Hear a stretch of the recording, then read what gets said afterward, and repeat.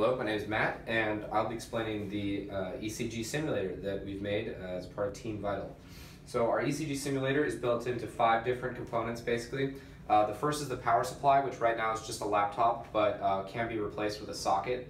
Um, the second is our launch pad, which uh, houses all the code for our um, signals, and uh, it, it's a microcontroller basically, and does all the processing and sends out um, PWM waves, which are basically uh, analog signals.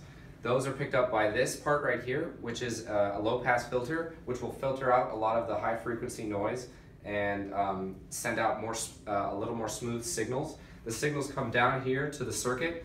Um, this circuit will break down those signals into a, a series of uh, millivolts, and those millivolts will be picked up by the ECG leads. The ECG leads are connected to our vital signs monitor, which as you can see here, produce a heart rate. Right now, this heart rate is at 62 beats per minute, which is relatively healthy. So um, uh, you can see that it's functioning pretty properly.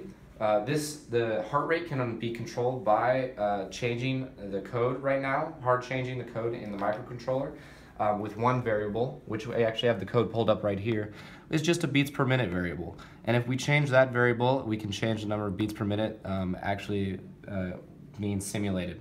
Uh, in the future, we hope to use a dial to change this variable, which should be very easy. Um, but we're working on that now. And yes, that's our signs, uh, that's our ECG simulator.